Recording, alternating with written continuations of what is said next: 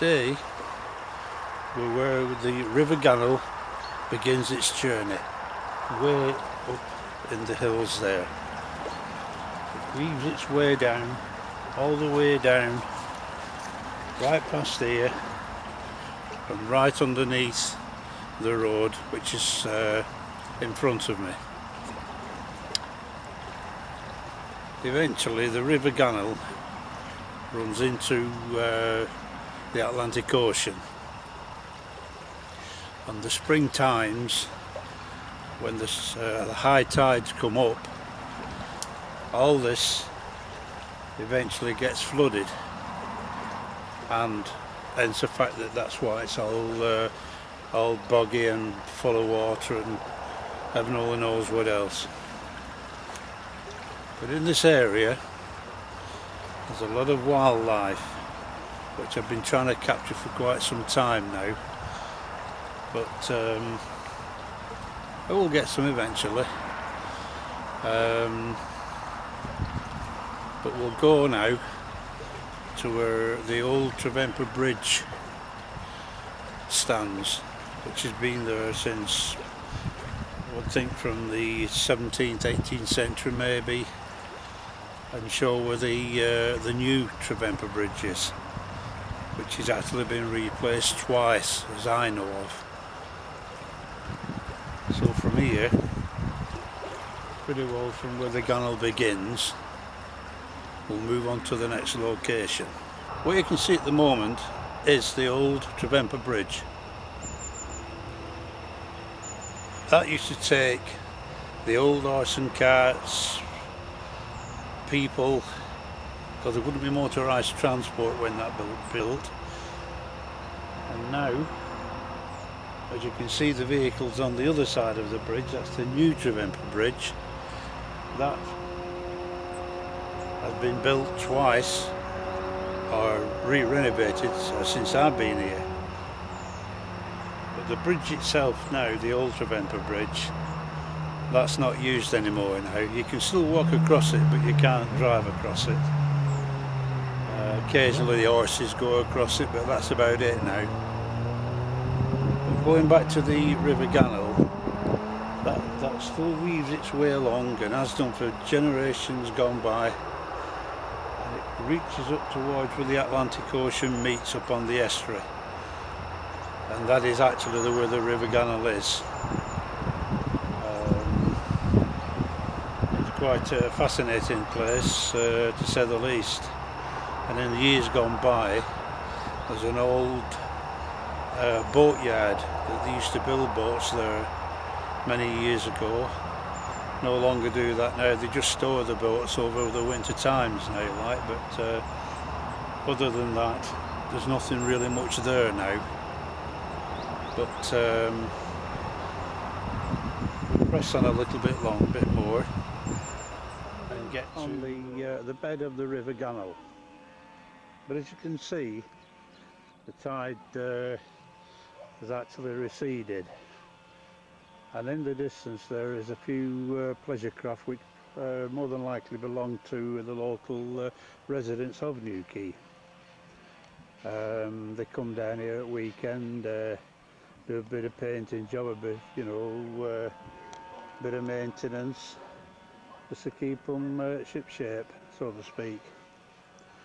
And as we look round, as we're coming round now, we're looking at an old sailing ship that is reputed to have been around the world. Whether that's true or not, I don't know.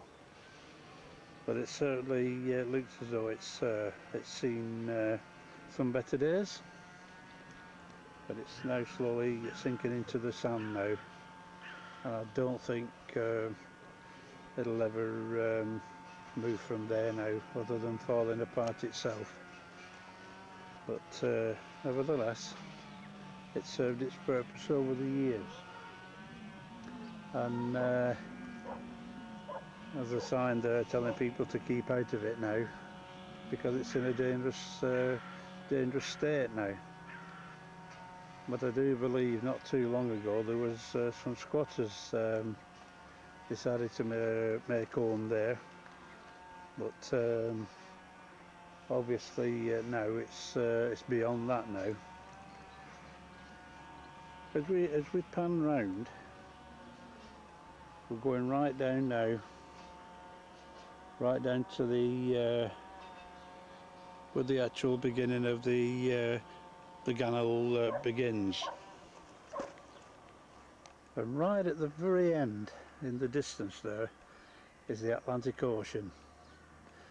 And the Atlantic Ocean uh, in the springtime comes right up this uh, estuary there here which is the River Gannel and usually this is uh, is all uh, one great big uh, river. Hence the fact the name of the River Gannel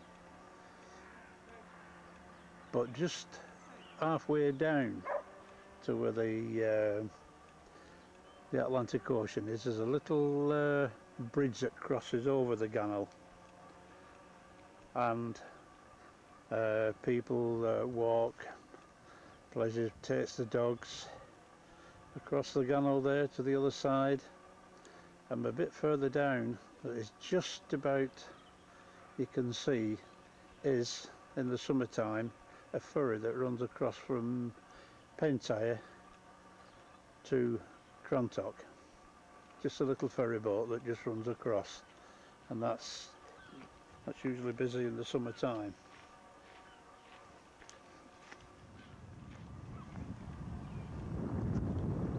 Scattered around uh, the River Gannel uh, there's little boats that are just moored there possibly from the harbour and we just leave them here over the winter time.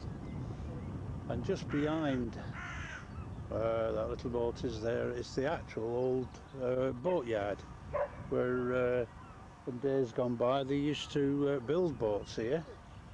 And apparently so I've been told it was a thriving business um, many many years ago. Um, but sadly like a lot of things they decline and uh, there is no need for uh, boats to be built down here anymore now. And uh, it's just a pleasure just to know that uh, once upon a time it was uh, it was used. So we'll move on to the uh, next location which is a little bit further down on the uh, the River Gannel just to uh, give you some idea of what uh, there's a bit further down.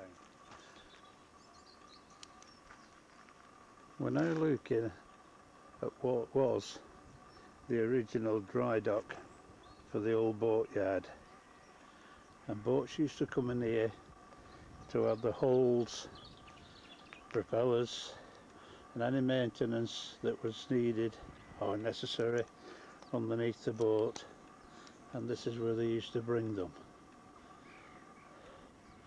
Very difficult to see today this 2013 of what was all them years ago but nevertheless this is what it was. It possibly uh, used to um, sit up on the top there have their meals. I've noticed there's an old shed there possibly used to be storing ropes and all sorts of fishing gear in days gone by. But as you can see now all we have now is just pleasure craft. And people just come down as I said earlier just to repair them and just look after them in general. But um, it's nice to stand on something that was once, many years ago, to see these little craft. There's two cover the big ships, the big sailing ships I would say in the days, with the big uh, sails that used to come into Newquay Harbour.